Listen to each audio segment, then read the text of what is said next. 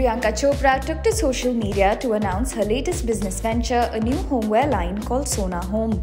The actor shared a video to show off some pieces from her homeware collection along with the co-founder Maneesh Goyal. In her post, a Desi girl mentioned how it was quite challenging for her to make America her second home after moving there for work and marrying singer-actor Nick Jonas.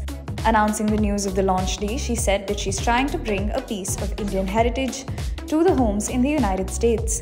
In 2021, Priyanka also launched a restaurant called Sona in the heart of New York City. On the work front, Priyanka recently wrapped up the shoot of her next spy thriller series, Citadel, which will premiere on Amazon Prime Video later this year.